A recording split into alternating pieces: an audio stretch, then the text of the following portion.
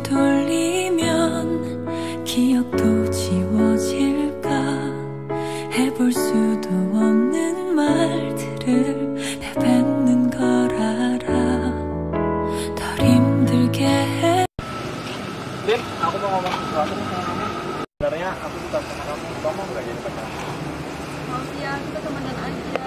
Oh iya, kita kan masih bisa temenan ya. Iya. Ya udah, aku balik dulu ya. Oh iya.